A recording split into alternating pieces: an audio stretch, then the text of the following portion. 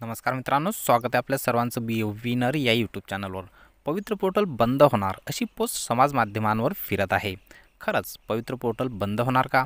यापुढे होणारी भरती जिल्हा स्तरावरून होणार का? भरती करताना मुलाखत घेतली जाणार आहे का? या विचारलेल्या प्रश्नांचे निरसन करण्यासाठीच प्रस्तुत व्हिडिओची निर्मिती. पवित्र पोर्टल हे बंद होणार परंतु सध्या नाही. नव्या राष्ट्रीय शैक्षणिक धोरणाची अंमलबजावणी करत असताना पवित्र पोर्टलची आवश्यकता नसणार आहे. शिक्षक भरती जिल्हा स्तरावर होणार आहे त्यावेळेस. स्थानिक उमेदवारांना सुद्धा प्राधान्य दिलं जाणार आहे. चांगले शिक्षक नियुक्त केले जावेत यासाठी मुलाखत आणि पाठाचे निरीक्षणसुद्धा केले जाणार आहे. परंतु लक्षात असू द्या ही प्रक्रिया असणार आहे नव्या राष्ट्रीय शैक्षणिक धोरणानुसार.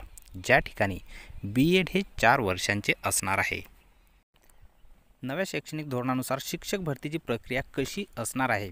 हे जाणून घेण्यासाठी व्हिडिओच्या उजव्या कोपऱ्यात जे सजेस्टेड व्हिडिओ आपल्याला येत आहेत ते बघायलासुद्धा विसरू नका. सध्या सुरू असलेली शिक्षक भरती पवित्र पोर्टलच्या माध्यमातूनच होणार आहे व यानंतरही काही वर्षे शिक्षक भरती ही पवित्र पोर्टलच्या माध्यमातूनच होणार आहे. कारण शिक्षक भरतीसाठी संस्थांचे सक्षमीकरण करेपर्यंत पवित्र पोर्टल हे अबाधित राहणार आहे. यापूर्वी पोर्टल बंद करण्यासाठी काही संस्था चालकांनी खटाटोप सुरू केला होता. पण पोर्टल बंद केल्यावरही संस्थेवरील रिक्त पदे भरण्यास संस्थांना पूर्ण स्वातंत्र्य शासनाकडून दिलं जाणारच याची काही शाश्वती नव्हती. म्हणून संस्था चालकही पोर्टलच्या माध्यमातूनच भरती करण्यासाठी तयार आहेत आणि लवकरच भरती केली जावी यासाठी आग्रहीसुद्धा आहेत. सध्याचा विचार केल्यास पवित्र पोर्टलला सक्षम असा पर्याय उपलब्ध नाही आहे.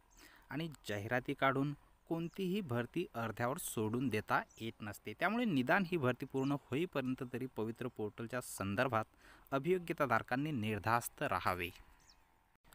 गरीब श्रीमंत असा कोणताही भेदभाव न करता पवित्र पोर्टलच्या माध्यमातून सर्वांना पात्रतेच्या आधारे नोकरी मिळू शकते. खाजगी संस्थांनासुद्धा पवित्र पोर्टलने पूर्ण स्वातंत्र्य दिलेलं नाही आहे. दिलेल्या दहा उमेदवारांमधून एका उमेदवारांची निवड करणे संस्थांवर बंधनकारक असणार आहे. त्यामुळे अगोदर ज्याप्रमाणे संस्थांवर जागा भरल्या जात होत्या त्या आता तशा भरल्या जाणार नाही आहेत. कुठेतरी गरिबांनासुद्धा न्याय देण्याचं कार्य पवित्र पोर्टलच्या माध्यमातून होत आहे. म्हणून पोर्टल बंद होणे सध्या तरी शक्य नाही आहे.